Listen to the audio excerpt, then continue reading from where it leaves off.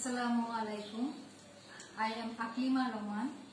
I am an English teacher of National Ideal School. Dear student, hope you are well by the grace of Almighty Allah. Now I am going to a discussion on right form of verbs. You know there are many rules regarding right form of verbs and uh, today I select conditionals. What is conditionals? Conditionals is a complex sentence. Here we find if connected sentence. And you know there are two parts in a complex sentence. One is subordinate clause and the other is principal clause. Here we will discuss on conditionals. That means if connected sentence. Let's see.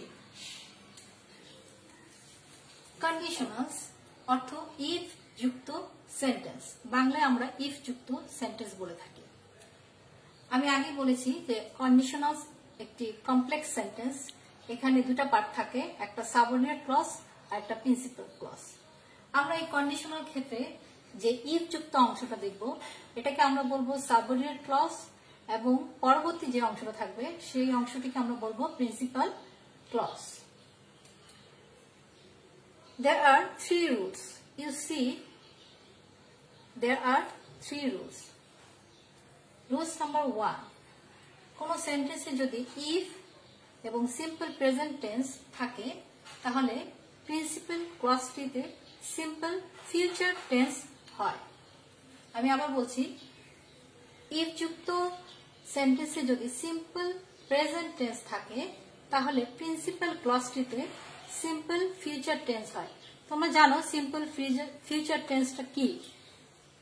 তার মানে main ভার্বের আগে একটা will অথবা shall হবে। এক্সাম্পলটা খেয়াল করো। If he works hard he prosper এটা ব্র্যাকেটে আছে ইন লাইফ এখানে ইফ যুক্ত অংশটিকে আমি আগেই বলেছি, যদি সিম্পল প্রেজেন্ট টেন্স হয়, তাহলে পরবর্তী অংশটা অর্থাৎ প্রিন্সিপাল ক্লসটা সিম্পল ফিউচার টেন্সে হবে। তার মানে পরবর্তী অংশে আমরা দেখতে পাচ্ছি যে এখানে হি প্রসপার ইন লাইফ এই প্রসপারটা এখানে ভার্ব তাহলে এই ভার্বের আমরা সিম্পল ফিউচার টেন্সে উল্লেখ করব। তাহলে এই ভার্বের আগে অবশ্যই একটা উইল অথবা শ্যাল বলবে। আমরা জানি যে সাধারণত উইল ব্যবহার করা হয়। কাজী আনসার হবে will prosper Now come to the second rules.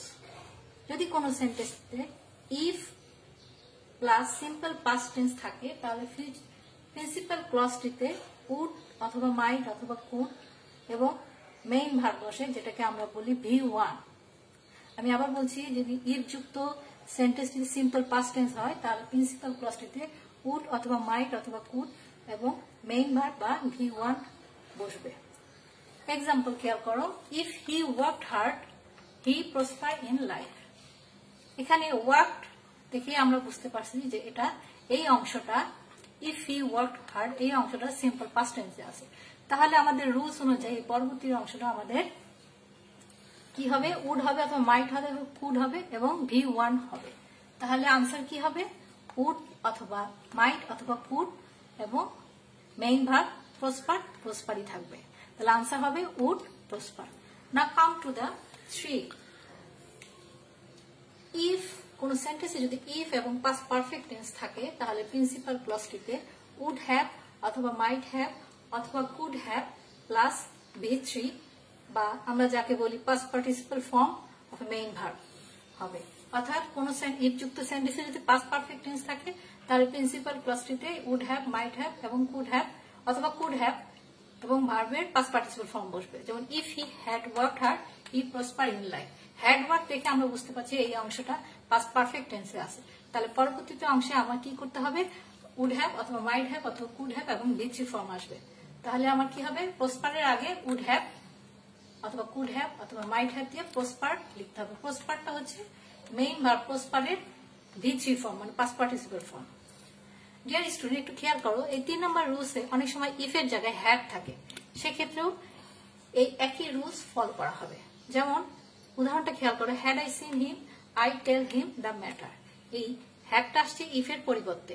কিন্তু রুলসটা আগের মতোই হবে, অর্থাৎ উড হ্যাভ অথবা কুড হ্যাভ ও মাইন্ড হ্যাভ এবং টেলের ভিত্তি ফর্ম টোল্ড ডিয়ার স্টুডেন্ট এখানে খেয়াল করো, এই তিনটা রুলস এর ক্ষেত্রেই ডিফারেন্সগুলো যেমন এখানে ওয়ার্ডস থাকা অর্থাৎ সিম্পল প্রেজেন্টেন্স থাকার কারণে পরবর্তী অংশটা অর্থাৎ প্রিন্সিপাল ক্লসটা আমাদের সিম্পল ফিউচার হয়ে গেছে।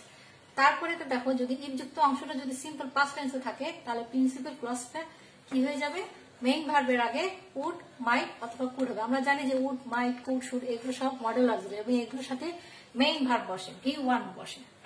তারপরে দেখো, তিন নম্বর রুলস এর ক্ষেত্রে দেখো, যদি ইফযুক্ত অংশ যদি পাস পারফেক্ট টেন্স হয়, যেমন হ্যাড ওয়ার্ক আমরা এই অংশটা দেখি বুঝতে পারছি তাহলে সেই ক্ষেত্রে পরবর্তী অংশে অর্থাৎ প্রিন্সিপাল ক্লসে কি হবে? উড হ্যাভ মাইট হ্যাভ অথবা কুড হ্যাভ এবং ভি থ্রি ফর্ম বসবে।